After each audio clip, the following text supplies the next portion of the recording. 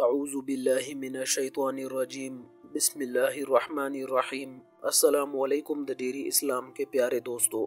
मेरे भाइयों, मेरी बहनों असमाय हसना के बारे में सही मुस्लिम और तिरमिजी में लिखा है कि अल्लाह ताला के निन्यानवे नाम है और जो भी इन नामों को हिफ्ज करके दोहराता है तो उस इंसान को दुनिया में ही नहीं, बल्कि आखिरत में भी इज़्ज़त बख्शी जाएगी। चूँकि मेरे भाइयों, अल्लाह ताला के हर नाम की अलग खासियत है और अलग सिफत है। लिहाजा, इनके फवाइद और खवास भी मुख्तलिफ़ है। और आज की इस वीडियो में हमारे चैनल के ज़रिए हमने एक सिलसिला शुरू करने का फैसला किया है। ये फैसला अल्लाह के निन्यानवे नामों के साथ उसका मतलब उसके वज़ाइफ और उसके पढ़ने के फवाइद के बारे में आपको तफसीलन बताना चाहेंगे। आज आपकी खिदमत में जो अल्लाह का नाम लेकर हाजिर हुआ हूँ वो अल्लाह के दो मुबारक नाम है, या रहमानु और या रहीमु। अगर आप ये जो नाम है, इनको आप पढ़ते हैं, सुबह या शाम के वक्त अगर रोज़ाना आप सिर्फ़ दस मरतबा पढ़ेंगे तो आपको क्या फवायद हासिल होंगे? ये तमाम मालूम आपको आज की इस वीडियो में हम देने जा रहे हैं। लेकिन वीडियो का आगाज़ करने से पहले, अगर आप चाहते हैं कि दुरूद पाक की बरकत से होने वाली दुआ में आपका नाम शामिल किया जाए तो कमेंट सेक्शन में अपना नाम ज़रूर लिखिए। और नए आने वालों से गुजारिश है कि चैनल को सब्सक्राइब करें और साथ में बेल आइकन है फौरी प्रेस करें ताकि हमारी आइंदा आने वाली जो वीडियोस है, उन तमाम वीडियोस का नोटिफिकेशन बर वक्त आप तक पहुँचता रहे। क्योंकि मेरे भाइयों, मेरी बहनों, मकसद है उम्मत की इसलाह करना। और आज हमारी बात हो रही है अल्लाह के प्यारे नामों की। अल्लाह के प्यारे नामों की फजीलत के बारे में आपको सिर्फ़ इतना ही बताना चाहता हूँ कि अल्लाह पाक ने कुरान मजीद में अपने असमाय हसना के हवाले से दुआ करने का हुक्म फरमाया है। और इसके अलावा हदीस शरीफ में अल्लाह ताला के असमाय हसना की जो तादाद है, वो निन्यानवे ज़िक्र फरमा दी गई है। और इनके मुतालिक रहमतुल्लामीन सल्लल्लाहु अलैहि वसल्लम का ये इरशाद ग्रामी मनकूल है कि जो भी शख्स इनको हिफ्ज कर लेगा तो वो ज़रूर जन्नत में दाखिल होगा। और न वो सिर्फ़ जन्नत में दाखिल होगा, बल्कि वो इस दुनिया में उसकी जो कोई परेशानी है उसकी कोई ज़रूरत है, कोई हाजत है तो इन अल्लाह इन मुबारक नामों को पढ़ने से न सिर्फ़ इंसान की हाजात पूरी होती है, बल्कि उस इंसान को दिली तौर पर राहत भी नसीब होता है, सुकून भी नसीब होता है। तो बात कर रहे थे अल्लाह के नाम, या रहमानु, या रहीमु के। अल्लाह के नाम, रहमान का मतलब है इंतहाई ज़्यादा रहम करने वाला। अल्लाह के इस मुबारक नाम के अंदर कितनी मिठास है जो सीधा दिल में उतर जाती है। ये सिर्फ़ सिर्फ़ अल्लाह के अंदर ही है, जो सारी कायनात में सबसे ज़्यादा रहम फरमाने वाला है। और इसमें कोई शक नहीं कि इस जैसा रहमान इस पूरी कायनात में कोई नहीं। ये सारी कायनात को जो तनहा चलाने वाला है, वो सिर्फ़ एक अल्लाह है, जिसका कोई शरीक नहीं। अगर इंसान को हुक्मरानी का मौका मिलता है तो उसकी कोशिश रहती है कि उसके जो दुश्मन है, वो उनको बर्बाद कर दे, उनको हलाक कर दे। लेकिन सिर्फ़ एक अल्लाह की ज़ात है जो रहीम की ज़ात है, जो अपने दुश्मन पर भी रहम के दरवाजे बंद नहीं करता, बल्कि उनको इतना नवाजता है कि उनका शिकवा ख़त्म हो जाता है। और वो इतना रहम फरमाने वाला है कि सत्तर साल का गुनहगार भी जब थका हारा उसकी बारगाह में जाता है और उससे मदद माँगता है और अपने गुनाहों पर शर्मिंदा होता है तो अल्लाह पाक फरमाते हैं, मैं इसके गुनाहों को नहीं देखता। मेरी रहमत इसकी तरफ़ मुतवजह होती है। और जब सारी दुनिया से वो कटा हारा अपने रब की बारगाह में हाजिर हो जाता है तो फिर अल्लाह पाक उसकी ज़रूर सुनता है। हज़रत उमर इबन खताब रज़ी अल्लाह तु से रिवायत है कि रसूलुल्लाह सल्लल्लाहु अलैहि वसल्लम की खिदमत में कुछ कैदी लाए गए। और उन कैदियों में से एक औरत किसी को तलाश कर रही थी। तो उसने कैदियों में अपने बच्चे को पाया, उसे उठाया और उठाकर अपने पेट से लगाया और उसे दूध पिलाना शुरू कर दिया। तो आप सल्लल्लाहु अलैहि वसल्लम ने हमें फरमाया, तुम्हारा क्या ख्याल है कि ये औरत अपने बच्चे को आग में डाल देगी? हमने अर्ज़ किया, अल्लाह की कसम, जहाँ तक इस औरत की कुदरत होनी चाहिए, इसे नहीं फेंकेगी। तो आप सल्लल्लाहु अलैहि वसल्लम ने फरमाया इस औरत के लिए अपने बच्चे पर रहम करने से ज़्यादा अल्लाह अपने बंदों पर रहम फरमाने वाला है।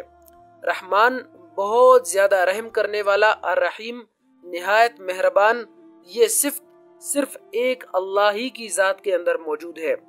तो मेरे भाइयों, मेरी बहनों अब आते हैं, हम आपको बताते हैं इन नामों को पढ़ने के जो फ़ायदे हैं, वो क्या है। जो भी शख्स रोज़ाना रात को सोने से पहले या सुबह जागते वक्त या दिन भर में किसी भी वक्त, वो इंसान अल्लाह के दो नाम अर्रहमान और अर्रहीम को एक साथ तैतीस मरतबा पढ़ता है तो इससे उसको क्या फवायद हासिल होंगे? जो भी इंसान रोज़ाना एक हज़ार मरतबा या रहमान या रहीम पढ़ेगा तो अल्लाह उसके दिल से तमाम शकूक शुभात दूर हो जाएँगे। और आज़म यकीन की जो कुत है वो उसको नसीब होगी। इसके अलावा जो लाइलाज मरीज़ है और उसके मर्ज से डॉक्टर हजरात आजिज आ चुके हैं। तो उसको चाहिए कि वो बकसरत या रहमानु या रहीमु का विरद रखे और इसके बाद शिफा की दुआ मांगे तो इनशा अल्लाह शिफा नसीब होगी। लेकिन शर्त यह है कि मौत का वक़्त करीब ना आया हो। इसके अलावा जुमा के दिन, नमाज़ जुमा से पहले पाक और साफ़ होकर खिलवत में, या रहमानु, या रहीमु को तैतीस मरतबा जो इंसान पढ़ता है, और फिर उस दिन हाथ उठाकर अल्लाह से जो दुआ मांगेगा तो अल्लाह पाक उसके तमाम तर हाजात को पूरा फरमा देंगे। उसकी जो भी हाजत होगी तो अल्लाह पाक उसके तमाम तर हाजात को पूरा फरमा देंगे। लेकिन शर्त यह है कि उसके तमाम तर हाजात जायज़ हो, यानी ऐसी हाजात ना हो जो खिलाफ शरीयत हो। मतलब इसकी ऐसी हाजत जो कुरान और हदीस के खिलाफ ना हो। जिस शख्स को अपने किसी काम में कोई तदबीर समझ न आती है। मिसाल के तौर पर, वो कोई कारोबार शुरू करना चाहता है और उसमें कामयाबी मिलेगी या नहीं, उसको शक है। अगर किसी के साथ निकाह का इरादा रखता है, क्या वह निकाह करना दुरुस्त साबित होगा या नहीं? इसी तरह जो भी तदबीर है जो उसको समझ नहीं आती, कि ये तदबीर उसके लिए दुरुस्त साबित होगा या नहीं, वो काम जहन में रख कर मगरब और ईशा के दरमियान, या रहमान और या रहीम को जो भी इंसान सौ मरतबा लगातार सात दिन तक पढ़ता है तो इन अल्लाह अल्लाह पाक उस इंसान को ख्वाब के ज़रिए अपने मकसद या तदबीर की तकमील को उसके जहन में डाल देंगे। और जो भी इंसान रोज़ाना नमाज़ के बाद, हर नमाज़ के बाद सौ मरतबा या रहमान पढ़ता है और मामूल बना लेता है तो उसके दिल से गफलत और सख्ती दूर हो जाएगी। या रहमानु या रहीमु को कसरत से पढ़ने वाला हर अमर मकरू से महफूज रहता है। और जो भी इंसान इस इसम को सुबह नमाज़ के बाद पढ़ता है तो अल्लाह पाक उस पर बहुत रहम फरमाता है। जो कोई इकतालीस दिन तक रोज़ाना इकतालीस मरतबा या रहमानु या रहीमो पढ़ेगा तो उसकी तमाम ज़रूरियात और हाजात आसानी से पूरी होंगी।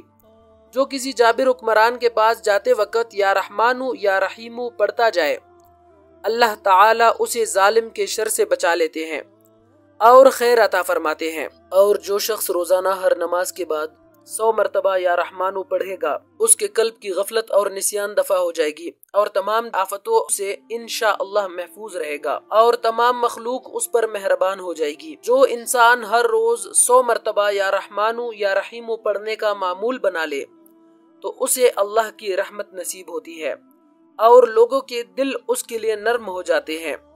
जो इंसान इसका कसरत से विरद करता है, वो मुस्तजाब दावात बन जाता है, और जमाने के मसाइब से मुसीबतों से महफूज रहता है।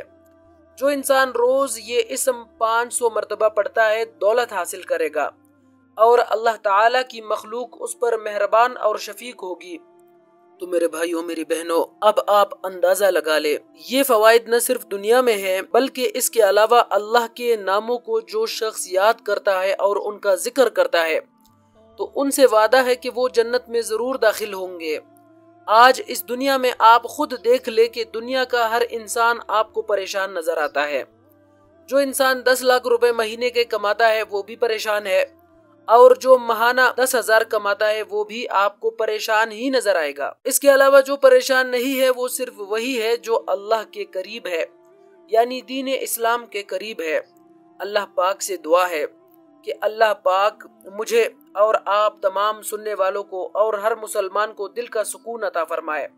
इसमें कोई शक नहीं कि दिल का सुकून सिर्फ़ उस वक्त नसीब होता है कि जब दिल से दुनियावी मोहब्बत निकलती है और अल्लाह की मोहब्बत दाखिल होती है। आखिर में दुआ है कि अल्लाह पाक मुझे और मेरे तमाम सुनने वालों को इस वजीफे पर अमल करने की तोफ़ी अता फरमाए।